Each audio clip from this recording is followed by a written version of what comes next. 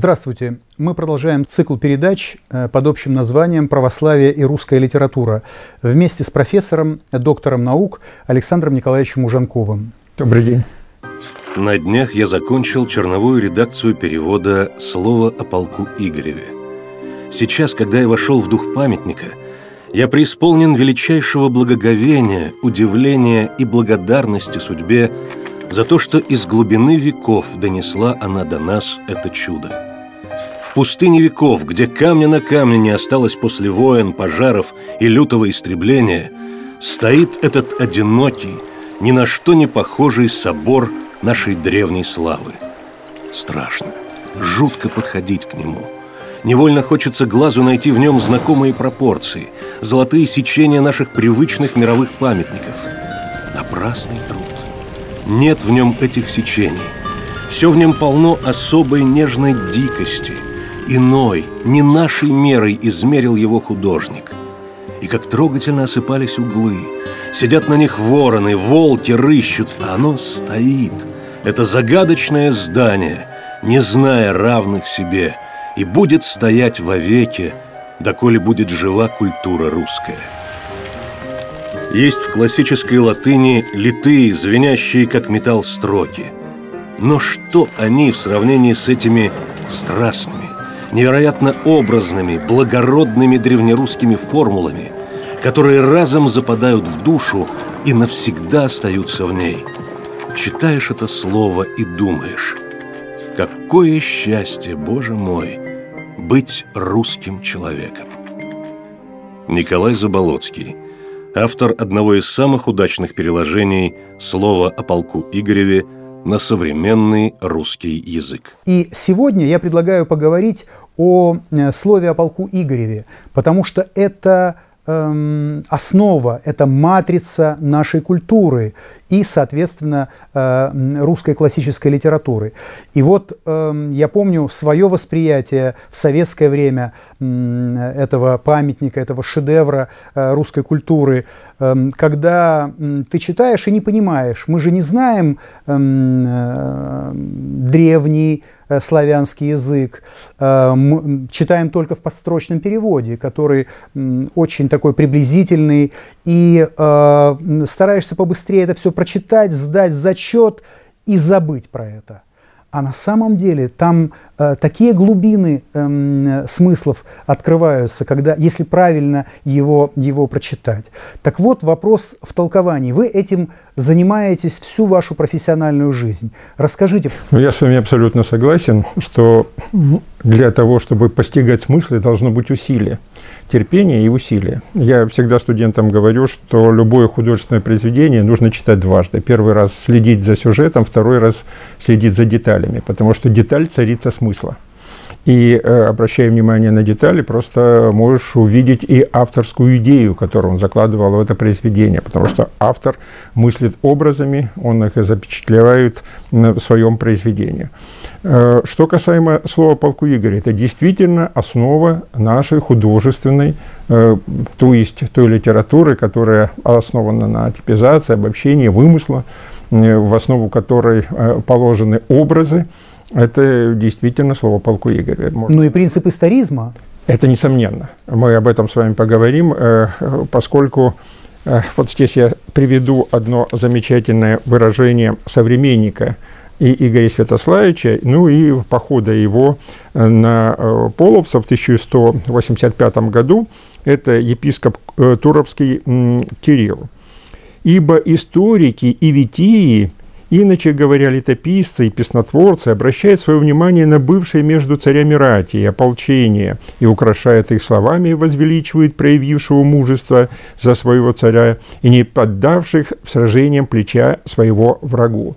На что он обращает внимание? Что существуют историки, сиречь летописцы, и витии, сиречь песнотворцы. Вот э, о походе Игоря Святославича есть три произведения. Две э, летописные статьи, которые одна входит э, в Лаврентьевскую летопись, составлен этот э, рассказ, э, скорее всего, в Переяславском княжестве. И вторая э, повесть – это э, повесть, созданная в Выдубицком Э, Киевском монастыре э, игуменом э, Моисеем. И, наконец, третье э, произведение – это слово полку Игореве.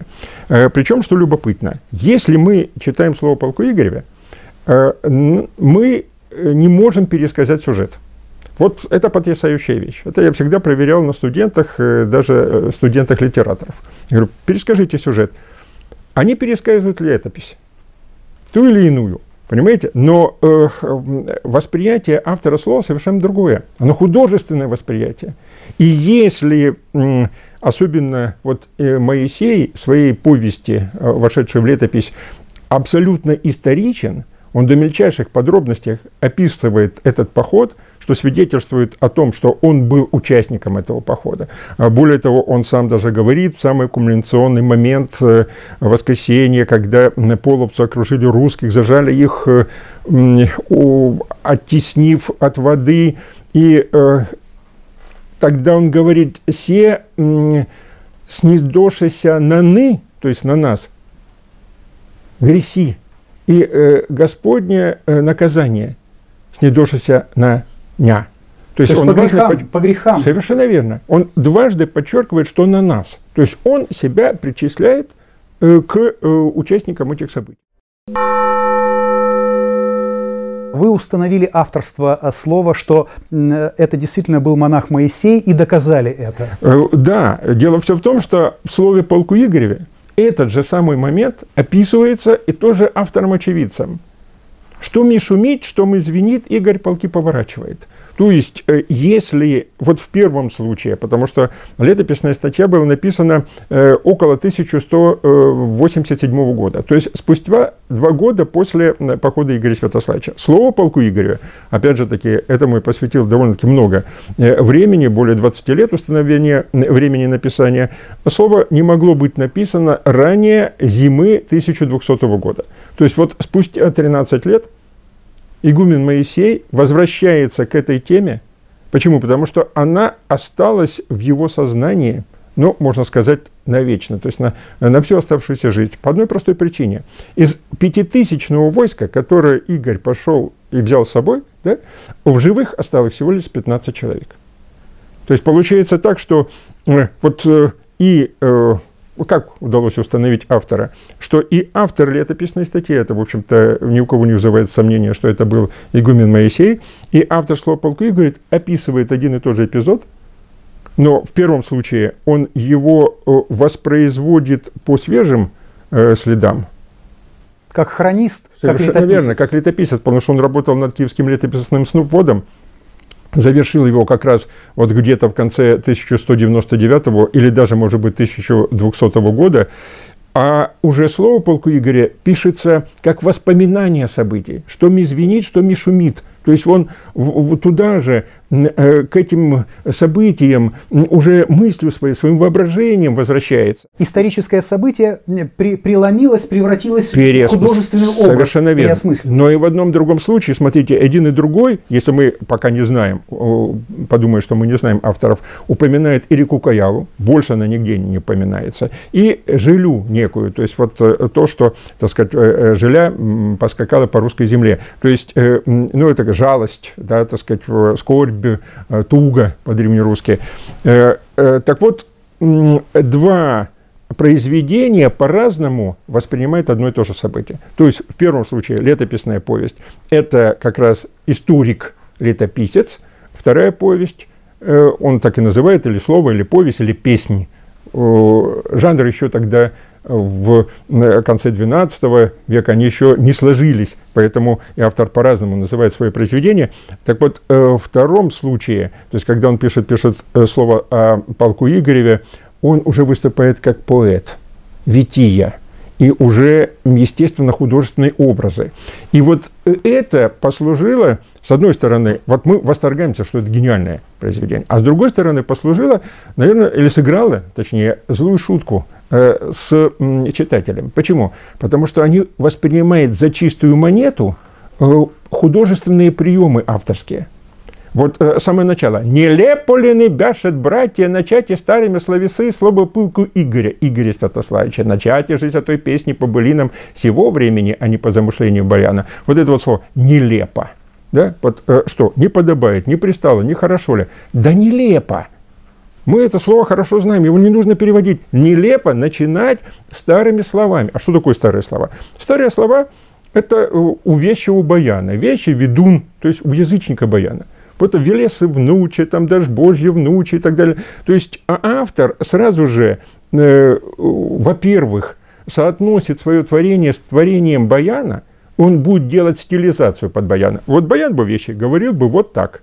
Я не буду говорить старыми словами. То есть я не буду опираться на этот язык баяна, на Велесова внуча, а я буду что делать? Я буду говорить новыми словами. То есть там есть, э, автор заявляет, что он сохраняет некую художественную традицию, но уже выступает не как язычник, а как Конечно. православный христианин. И, соответственно, образное и смысловое и стилистическое наполнение уже э, иное в, в, в этом смысле. Конечно. Потому что, потому что э, вы все время э, об этом говорите, что соотносятся библейские тексты и эм, э, вместе с художественными текстами. Конечно. Но здесь же, понимаете, здесь э, какой момент э, очень важный. Э, вот когда он говорит старыми словами, старые или ветхие – это языческое, как ветхозаветное.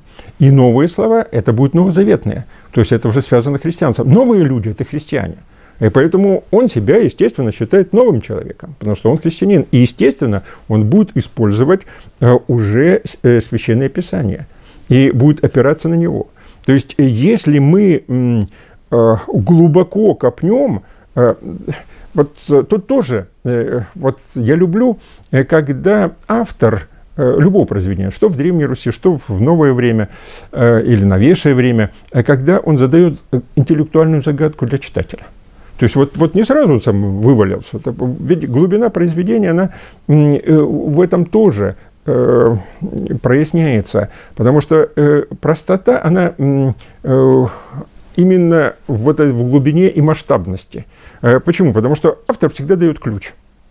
И, э, скажем, в самом начале он помещает своего рассказа, слово полки Игоря, он помещает солнечное затмение – вот солнечное затмение – это и есть ключ к пониманию произведения. Потому что в летописях, мы знаем, э, солнечное затмение произошло на восьмой день похода. А тут взглянул бы Игорь на светлое солнце, видя от него все свои вои прикрытой. Вот, э, во-первых, это оксюмарон, редкая, так сказать, э, троп художественной литературе. Э, солнце тьмой воинов прикрыло. Но с другой стороны, это и смысл.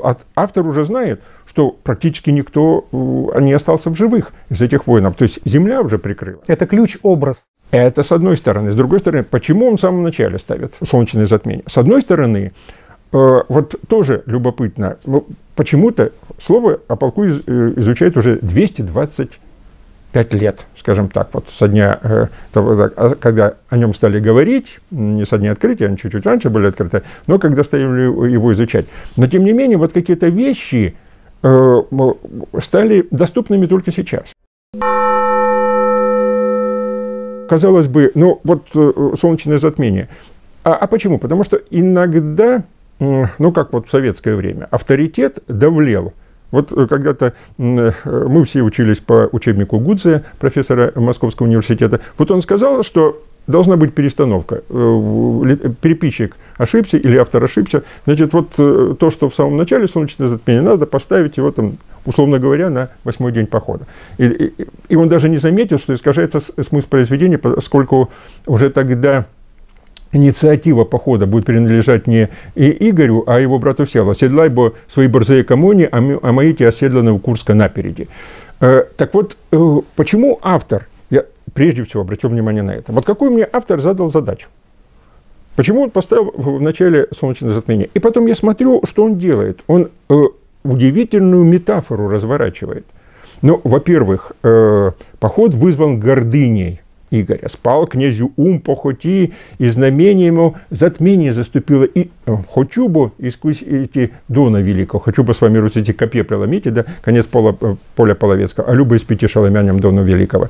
То есть вот это вот хочу, а потом еще переднюю славу похитим, заднюю поделим, то есть за славой, за завоевательный поход и гордыня. Гордыня в душе, то есть э, помрачение души – и, а в природе это э, солнечное затмение. Затмение ума. Совершенно верно. И вот э, все это сложилось, и автор что делает? Он показывает, как э, Игорь э, солнечное затмение когда происходило? В тот момент, когда Игорь переходил через пограничную реку Донец. Когда он в русской земле, солнце светится на небесе. Переходит и попадает во тьму. И тут вот э, потрясающе я себе выписку сделал, чтобы поскорее примеры повести. И получается так, что весь поход Игоря Святославича происходит во тьме. Солнечное затмение длится всего там 3-5 минут, если полное солнечное затмение. А здесь получается, что весь поход во тьме. Взглянул же Игорь на светлое солнце и, видя от него тьмою все свои вои прикрытые. Дальше. Вступив в злостремя, поехав по чистому полю, солнце ему тьмою путь заступаша. Ночь, стонущая ему грозою птич, убуди свист, зверин встаз, бися див, кличет вверху древа. И образ ночи. А половцы не готовыми дорогами побегаша домну великому, кричать телеги в полунощи. Рцы лебеди распущены. Там везде день. Ну, а автор создает образ ночи. Долго ночь меркнет. Смотрите, а заря свет запала. То есть вот где-то заиграла, а вроде бы не наступила. Мгла поля покрыла, щекот славы успех. Смотрите, все, так сказать, застывает, засыпает, покрывается тьмой. Другого дни вельми рано. Что, солнце встает? Ничего подобного. Кровавые зори свет повидает. То есть Зори только предвещает свет, а он как бы не наступил. Черные тучи с моря идут, хотят прикрыть четыре солнца, то есть четырех князей, которые пошли в поход. А у них трепещут синие молнии. Быть и грому великому. Дальше. Э, пятница. Бой. Заранее до вечера. Ну, а дня и нету.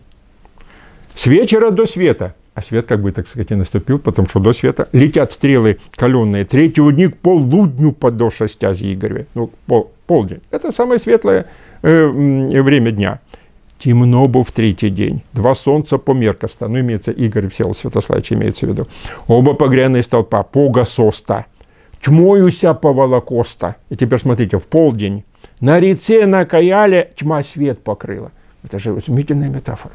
Игорь пошел в поход не защищая русскую землю, а из гордыни Конечно. нападая. То есть он таким образом нарушает э, писанные и неписанные законы русской истории. Защищаться. Именно Святая Русь всегда защищалась, Конечно. а не колонизировала. А, даже мы же с вами говорили в повести временных лет, это первый лес, э, летописном своде, э, преподобный Нестор пишет, э, с этого начинается летопись, что Афет – Э, сыновья Ноя праведного, разделивши э, землю и заключили договор не, пристать, не приступать к пределам земли друг друга. Вот это вот э, то, чем должен жить древнерусский князь. Так и во время всемирного потопа солнце ведь тоже не, светило, оно, оно, оно как бы закатилось. Конечно, так это знамение в Древней Руси, в той же летописи, о которой мы с вами говорим, повести временных лет, там много примеров вот таких знамений небесные, потому что они предвещают э, что-то худое. Не на добро знамение се.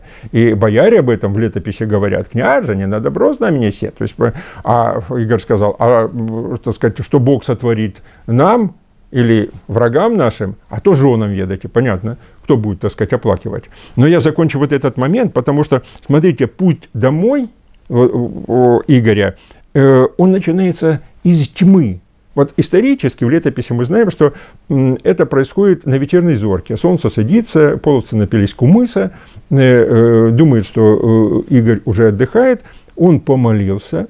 В летописи говорится, взял икону и крест, может, крест на себе положил, наложил, и тихонечко из шатра этого выбирается. «Погасоша вечеру зори, в полуночи». Смотрите, обратный путь, когда из самой темной точки, да, из полуночи. И вот в полуночи Уврул свистнул за рекою. Это тот э, Уврул или Лавр, крещенный половец, который помогает Игорю бежать. И полете соколы под мглами. Смотрите, мгла, еще солнца нет. Побег удался.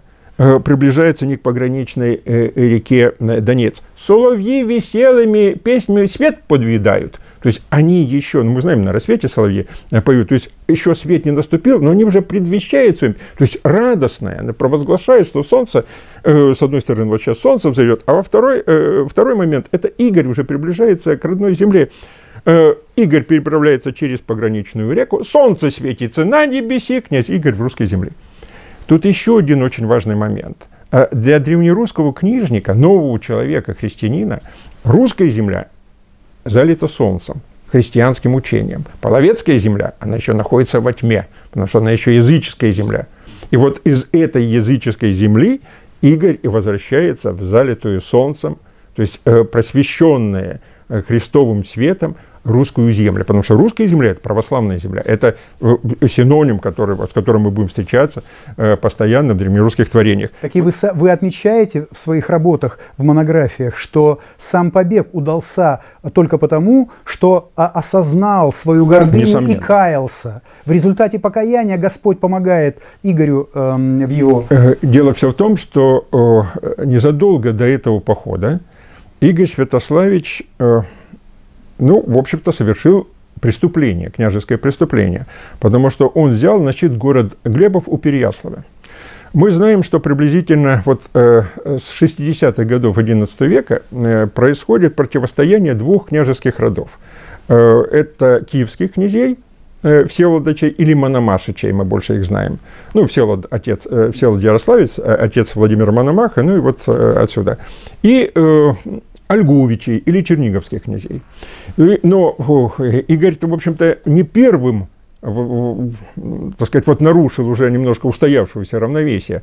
А Владимир Глебович э, э, годом ранее, когда они ходили в поход против половцев, Игорь э, не позволил Владимиру Глебовичу ездить напереди, то есть тот, кто впереди, тот э, опустошает половецкие вежи.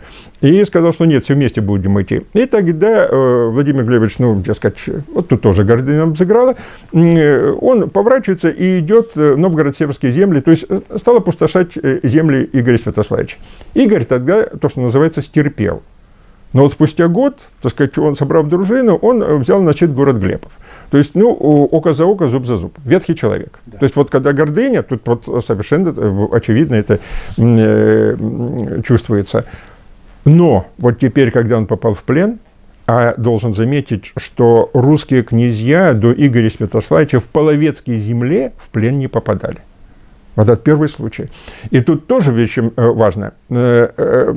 Игорь, ведь как говорит, что переднюю славу похитим, заднюю поделим, лучше жны потяту быть, нежели нам полонену быть. То есть лучше мы погибнем, потому что мертвые сраму не имут, вот, э, чем попасть в плен. То есть он, э, э, автор, тоже поэт, он вкладывает судьбоносные слова в уста Игоря. То есть лучше погибнуть, чем попасть в плен. Конечно. Для чести князя, конечно. Для славы князя, конечно. А вот Господь по-другому совершенно. Вот тут мы видим, как разворачивается божественный промысел. промысел а человека. То есть вот ты хотел славу, получаешь бесславие. И более того, вот это вот бесславие он должен, э, то, что называется, испить до конца. Э, почему? Потому что э, бежать из плена – это самое последнее дело. Потому что за него должны были заплатить честь, то есть выкуп. А он бежит бесчестно, то есть без выкупа. Он, собственно, и находился там в плену, ожидая, что э, за него заплатят. Выкуп очень большой, это почти э, э, годовой доход ну, такого княжества, как Смоленское, за, за одного пленного русского князя, как они ценились вот в Полоцах. Это с одной стороны. С другой стороны, мы видим, э, мы видим э, и вот это вот разворачивание, э, то, о чем вот в самом начале вы сказали, мы видим, как разворачивается этот божественный промысел не просто сам по себе, а сознание древнерусского книжника, оно было историчным, и он сравнивает действительно вот события русской истории с ветхозаветными. Такая ретроспективная историческая библейская аналогия – Потому что э, в 586 году до Рождества Христова царь Сидыкия отправляется в поход э, э, на Египет. И зачем тебе путь в Египет, чтобы пить мутную воду из реки ее? Накажет тебе нечестие твое, говорит пророк Иеремия. Почему вот э, происходит вот это вот э, соединение того по ходу этого. Мало того, что один попадает в плен, второй попадает в плен, так самое главное это. Солнечное затмение происходит 1 мая. Это день памяти пророка Иеремии. И тогда мы видим, как, так сказать, одно накладывается на другое, и как происходит вот это ну, я не буду приводить цитаты с экономией времени. Как это происходит? Там в э, э, египетский плен к чему приводит? Э, то, что Иеремия не покаялся что его земля разрушена. Точно так же, как и здесь. Редко ротаю тихо куть, но в ране летают трупе себе делича слово полку Игоря. И получается так, что в слове полку Игоря порядка 70 э, скрытых экзегез. То есть вот цитат из э, книги пророка Еремии. Толкование да, и на Совершенно цитат, верно. Да, интерпретации. Потому что, именно, именно так. Потому что вот на каждую библейскую есть, так сказать, вот э, авторская эта ремарка. И самое главное, что э, Господь говорит, и если у Иеремии, и если взыщите меня, всем сердцем взыщите меня, то возвращу вас из плена. Иеремия говорит, что и если э, придете ко мне и взыщите меня, всем сердцем взыщите меня, то возвращу я из плена. Чем заканчивается слово полку Игоря? Игорю Бог путит, э, путь кажет из земли половецкой в землю русскую к отню злату столу. Без покаяния не может быть прощения. Значит, о чем слово полку Игоря? Это слово полку Игоря как раз свидетельствует о том, что как э, евангельские слова, как на небесах больше радуется об одном раскаявшимся грешникам, нежели о 99 праведниках, не имеющие нужды в покаянии. Потому что Господь призывает к себе э, неправедных, но грешных на покаяние. В Древней Руси еще говорили, виновен, да повинен, то есть повинился, Богу не противен. Ну вот э, на этом мы закончим э, нашу сегодняшнюю передачу. В следующей передаче мы поговорим о эм, русской православной житийной литературе. До свидания.